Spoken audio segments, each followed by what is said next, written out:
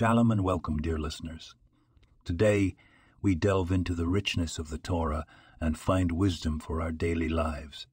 Our text today comes from the book of Proverbs, chapter 15, verse 1. A soft answer turns away wrath, but a harsh word stirs up anger. In our interactions with others, we often encounter disagreements and conflicts. It's easy to respond with anger, but the Torah advises us otherwise. This verse imparts a crucial lesson about the power of words and the importance of maintaining peace. It is a reminder that we should always strive to answer with gentleness, even in the face of provocation.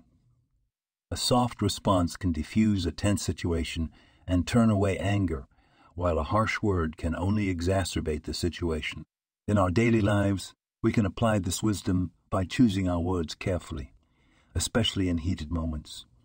Responding softly to a heated exchange can prevent escalation and lead to a more peaceful resolution.